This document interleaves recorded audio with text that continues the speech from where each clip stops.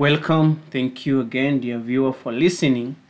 And uh, we are in our herb identification class where we identify what God has given us in nature, the common herbs that we have around, and the in depth study about them and how we can systemically approach disease. We need to know that in the end time, as the uh, uh, as the agitations uh, towards the National Sunday Law is being uh, hosted on the minds of people and brainwashed, and people being uh, put in a slumbering mode, God's people are to arise to agitate on the health principles as well as the Word of God. And so, while there is still time and opportunity right now, we need to learn its causes, prevention, and cure, for we shall find labor in every place that we go. Now, that is so important for me to understand and for you to understand. Do not just sit there and think that the world is going to a prosperous and a peaceful mode. Never, it will never be so. In fact, we are going through difficult times. The Bible says in Matthew chapter 24 and verses 6 and 7 and 8 that there will be diverse uh, pestilences and earthquakes and wars and rumors of wars everywhere.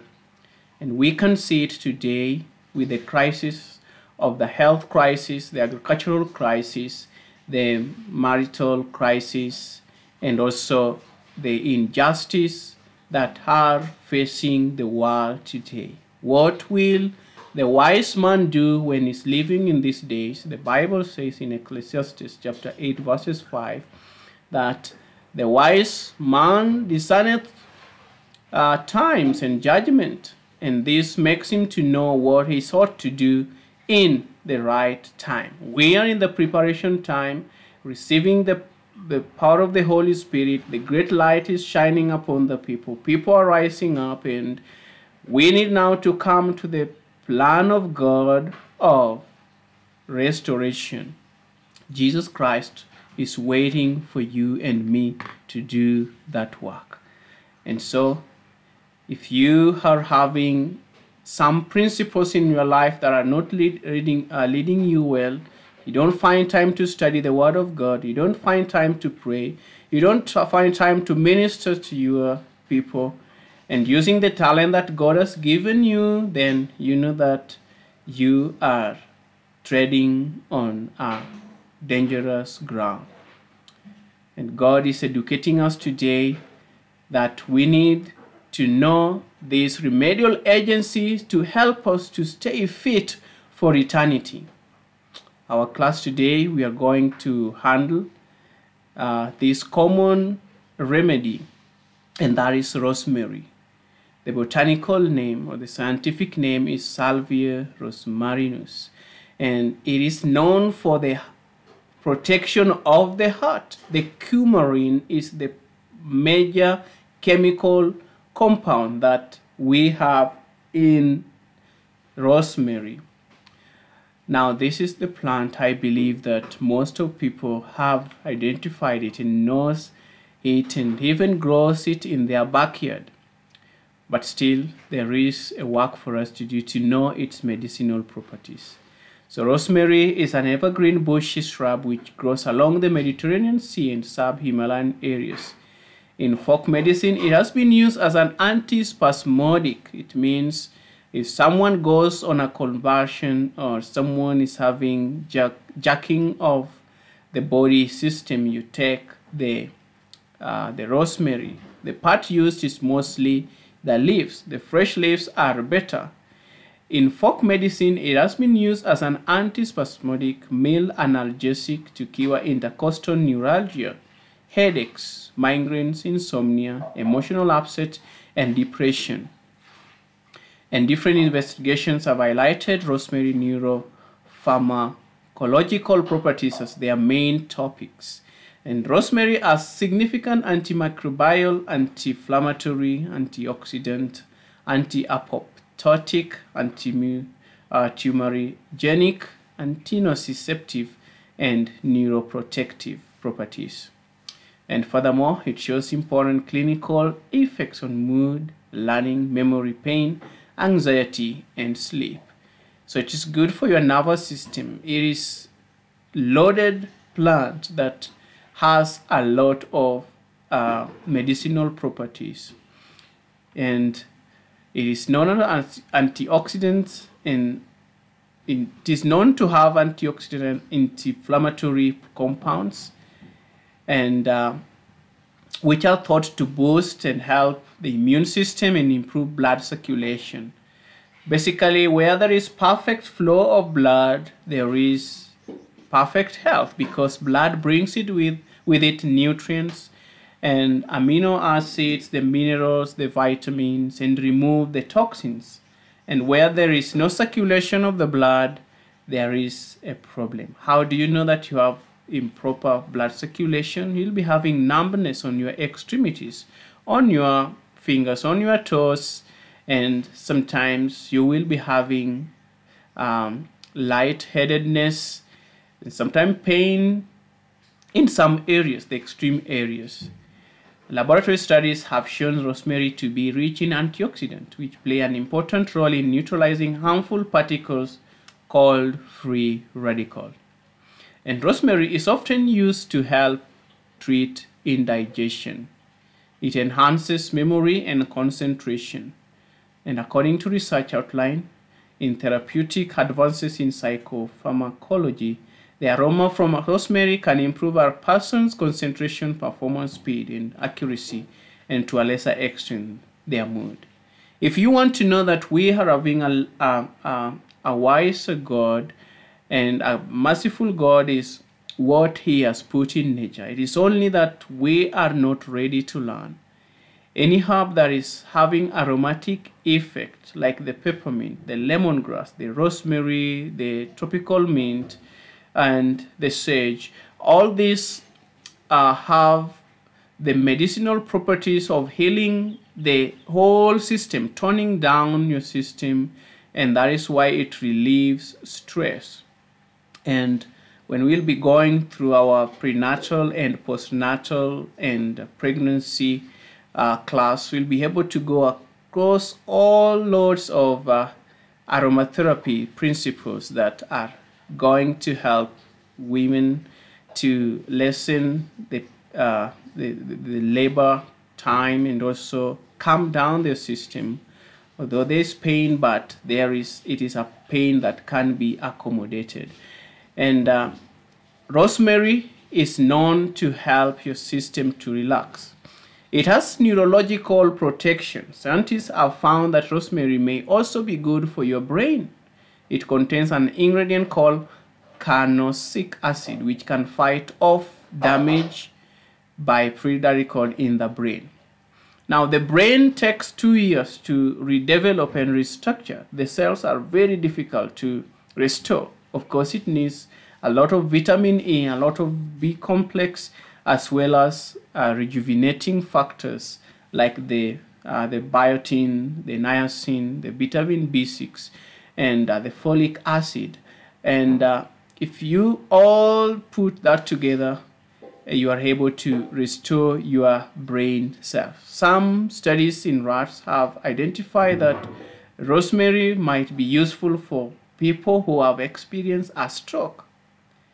And stroke is just insufficient supply of blood to the brain cells because of the arterial plaque buildup. Rosemary appears to be protective against brain damage and might improve recovery. You have to start circulation. And most of the time when someone is having stroke, you have to put him on a circulatory herbs or remedies and uh, limit any glucose surge into the system. Drink a lot of water, do a lot of hot and cold fermentation using the water therapies, cold sheet treatment, um, using uh, cold sprays on the spinal cord, using hot foot bath, which may be tricky with someone who is paralyzed, but hot fermentation will be very, very effective on those areas. And it helps in preventing aging. Some studies have suggested that rosemary may significantly help prevent brain aging. The therapeutic ability to rosemary for prevention of Alzheimer's shows promise, but more studies are needed. But I want to tell you that what God has put in nature is very effective. And uh, most of those who are having uh, senility, Alzheimer, or memory loss who takes rosemary tea are able to recover from, uh, from these difficulties. There is a program that uh, you can put yourself into to make sure that you remove the um, you remove the toxins like uh, aluminium or the lead or the mercury in your brain, and that is taking tamarind tea. If you take tamarind tea every day, you are able to uh, to protect yourself against the uh, against the heavy metals that feed or marinate themselves within your brain and then kill the dead uh, are neurotoxic to your brain cells. You're taking tamarind when you're taking tamarind tea every day, about twice a day, about three inch turmeric seeds, usually fruit, sorry, fruit of ripe tamarind, and taking it daily, it's able to help your system to boost immunity as well as removing those toxic elements. Another thing is using cilantro juice. Cilantro is uh, is a so-called dhania or uh, it's also called uh, uh, forgetting the name but you need to make a juice of it and then drink that every day you can add it with the parsley and this will just able to detoxify you from Parkinson's disease, mul uh, multiple sclerosis, and Lou Gehrig's disease. Just so important for you to know. Now, another thing that we need to know about turmeric is just cancer. Um, it helps to feed on scavenged uh, in free radicals. What are free radicals? These are substances that are highly have high affinity for uh, for for some ions to attach into. We can get them into the system by eating um, foods that are anti that, are histamine in nature and also foods that are having uh, uh, that are having genes that have been incorporated in them that are not natural. That is why genetically modified foods is very dangerous for your system because it is not able to pair well with your system and so it destroys uh, the body. And for that repair to take place it is very difficult. So you need to eat properly. Organic foods we are calling people to go to the natural ways of of, uh, of food preservation as well as restoration of seeds. We need to get those seeds that are having high power to re, uh, reprogenate again and again. So research published in Oncology reports found that crude ethanolic rosemary extract showed the spread of human leukemia, slowed the spread of human leukemia and breast cancer cells. And uh, that should be a good news for us. It protects against macular degeneration. A study that is published in the journal Investigative Ophthalmology in Visual Science led by Dr. Stuart uh, and colleagues at Stanford say that uh, that carnosic acid, which is found in, in rosemary, is a major component uh, that can promote high health. This could have clinically application for diseases affecting the outer retina, such as age-related macular degeneration. Now, macular de degeneration is affecting many people because we are in an environment that is polluted, and most people do not take dark green leafy vegetables.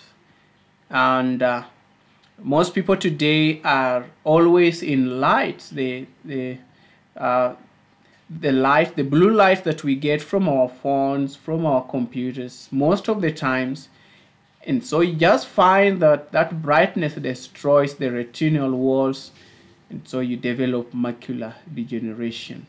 the retina begin to reducing and resizing and so you cannot see very well okay we have a hope in rosemary tea you can use drops of rosemary or if you have a macular degeneration again you can use the uh, you can use an eye drop made of of castor oil and uh, some salt the Himalayan salt and put it into your eyes in the morning and in the night. You can apply some honey raw honey in your eyes. You can apply uh, the acacia leaf tea and periwinkle tea for macular degeneration. Make sure that you be very determined. You need foods that are rich in biotin the soybeans uh, milk tea. You need uh, a lot of nuts the almond nuts the pecan nuts brazilian nuts the macadamia nuts, lower make sure that you lower the intake of peanuts in your system when you are having macular degeneration. And then you can also make this solution made from uh, sea salt, a pinch, a, tablespoon of, of sea salt in half a glass of, uh, of spring water and then you squeeze one lemon, medium sized lemon, and you use vegetable glycerin. You use about 10 mils of vegetable glycerin and take it in.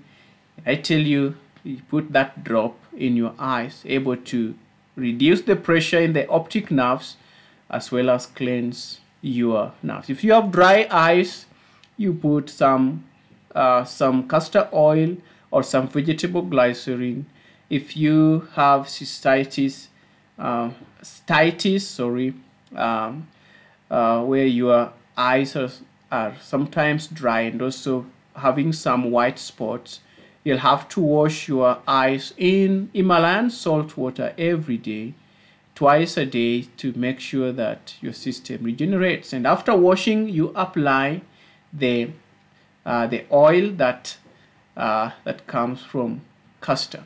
That is all and blessings till our next class.